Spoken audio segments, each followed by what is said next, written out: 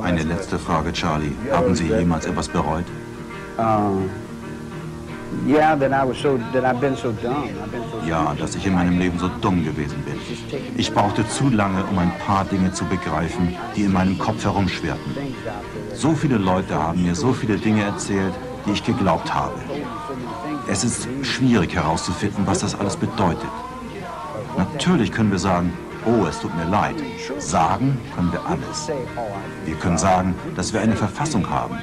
Aber wer füllt sie aus? Man kann sagen, es tut mir leid, wenn jemand stirbt. Weil du selber nicht sterben willst? Weil du Angst davor hast? Weil dir jemand was erzählt hat?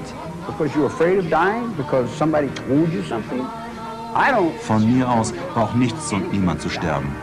Das wäre doch was. Und was heißt Tod überhaupt? Wie soll ich das wissen? Muss ich jemand in diesem Spiel sein? Ich bin irgendwie da hineingeraten, egal ob ich eine Rolle spielen wollte oder nicht. Jetzt hänge ich damit fest.